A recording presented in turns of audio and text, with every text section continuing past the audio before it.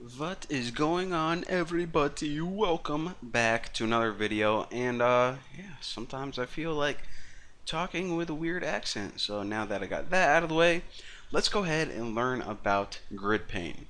Now a grid pane, as you probably could have expected, is a way that you can arrange items in a grid. No surprise there. However, it's not just a boring grid like a spreadsheet. We can actually do some pretty cool stuff to it. So let's go ahead and get started. The first thing we need, obviously, is a grid pane. I'm going to name mine grid because I'm that creative and we'll just set this equal to new grid pane.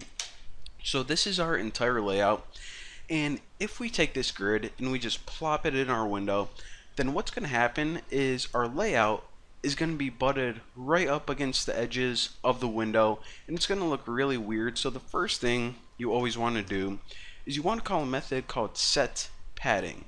Now, as you can see, this takes an insets object as a parameter, so set padding, new insets, what the heck is an insets? It's essentially just an object that you can have four values tossed into, and these are just the amount of padding that you want to add to each edge. So if you want to say, um, like make a 10 pixel padding around your entire layout, you can just put 10, 10, 10, 10 if you want like more padding on the bottom or something then you can go ahead and tweak those values. But again what this does is it's going to put a 10 pixel padding around your layout and the window. But here's the thing. The individual cells themselves they don't have any padding or spacing yet. So even though our layout isn't going to be butted directly up against the window all those cells are going to be bunched together. So how do we take care of that? Well what we do is we take our grid and we call a method called set vgap and this pretty much sets the vertical spacing or the padding of vertically.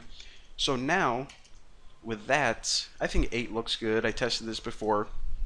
Our vertical spacing is now 8 pixels and you guys can probably guess what you need to do for horizontal spacing. Hgap and let me set this equal to 10 pixels.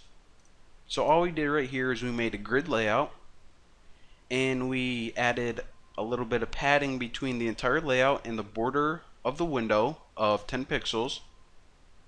And the spacing verti vertically is 8 and the spacing horizontally is 10 and again this is the individual cells themselves not the entire layout. So now that we got our grid taken care of let's go ahead and start adding some items. So what I'm going to do in this example is I'm just going to make a quick little, it's going to look like a login screen. It's going to have username and then a place to type your username, password, place to type whatever password you want to make up, and a login button. Obviously, it's not really going to log into any website. This is just, you know, demonstrating how you would make it, but cool little example. So I'll say name, label, and I'll name this one name, label, new label and we'll just say username. And let me put a little colon right there. Alright so now what we need to do is we pretty much just made an item that we want to add. Now we have to say where do we want to add it? What column? What row? And in order to do that we need to call a method called set constraints. So this takes three parameters. The first one is the child in other words what item do you want to add to the grid Ours is going to be the label, obviously.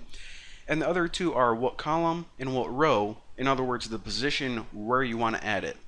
So again, what item do you want to add? The name ladle, label, ladle, not that, label.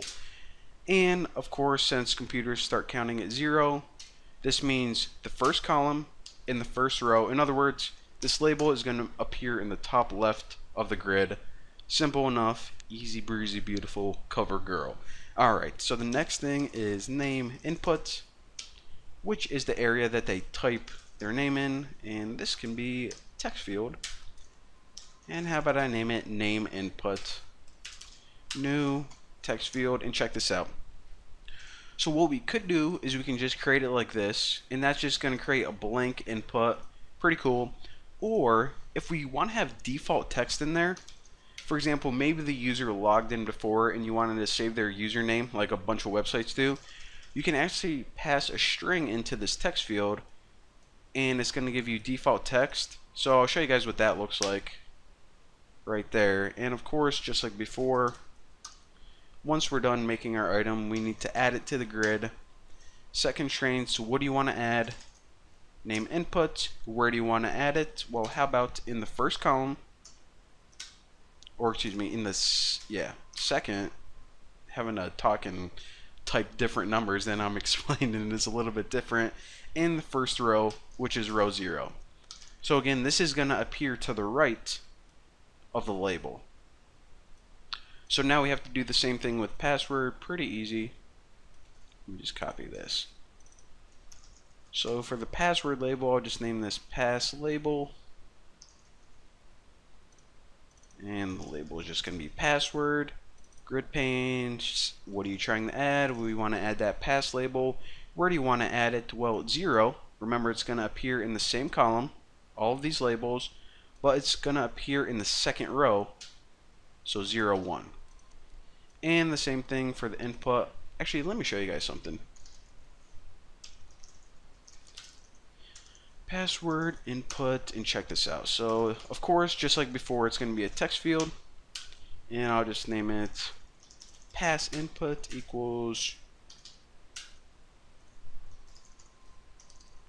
probably should just copy this text field. Alright so I'm not gonna have any default text for the password. And by the way I probably should mention this. Whenever I'm running this demonstration since this is just a plain text field it's gonna um, display the password in plain text but later on I'll show you guys how to have an input where you can type it and it will actually display like those little circles or asterisks.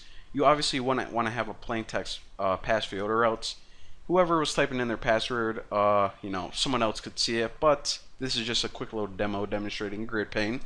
So what I want to do is show you guys the difference between default text and this right here, which is pass input set prompt text. So if you guys are familiar with like um, HTML or if you ever made a form for a website, you saw that there's these things called password hints, which is this light grayed out text that was a pretty much pretty much an indicator of what you're supposed to type there. So it isn't default text because default text, whenever the user clicks in the input field, it's going to remain there and it's going to be dark black. Prompt text is lighter gray and just for this demo, I'll put like password.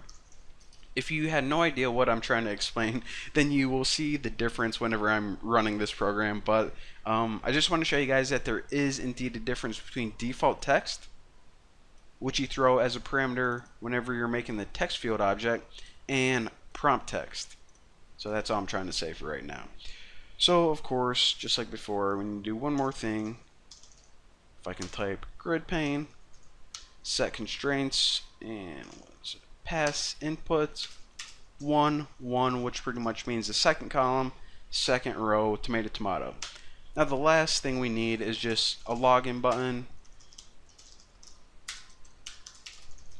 button and inside here I'll just say login now I actually want this in the second column in the third row. So what I'm going to do is I'm going to call grid pane set constraints login button and this would be 1 2 so second column third row looks good. It's gonna appear right under the inputs. I think it looks weird if you put it right under the labels so you know there's that. Alright so simple enough. The last thing we need to do is add everything to the grid because all we did is we made the items and we positioned them so I don't know this is just a weird rule so grid just like before, get children, add all, and what do we want to add first? The name label, gonna add that, name input, pass label, pass input, and a login button. So now we have everything added to the grid. And I probably should have kept this from my last tutorial. Scene scene equals new. Scene how. Alright so for your scene we have one thing we want to plop in it. The grid that we just made. How big do you want it? How about 300 by 200 why not? And we need to call window. Set scene. Let me tighten all this up so you guys can actually see. Alright. There we go. So everything is looking pretty good. Let me run this and see what I fudged up. Alright. So let me hide this. So first of all, you can see that this is default text, this Bucky right here. And whenever I'm clicking in the input area, it doesn't disappear. So whenever we were checking for text that the user typed in, this would pass through. However, a password hint, or in other words, as it's called in here, prompt text, this is just a little gray indicator. And whenever I click in here, check out what happens. It disappears, and whenever we're doing data validation, that value wouldn't get passed through. So again, that's the difference. That's what I was trying to explain. Again, like I said, a lot easier if you just see it. But uh, yeah, there you go. Click login, nothing happens, beautiful. However, we now know how to use grid panes. So uh, actually in the next tutorial, what I'll show you guys how to do is actually get input from the user so we can actually extract these values and use them in our program. It's going to be sweet, so I'll see you then.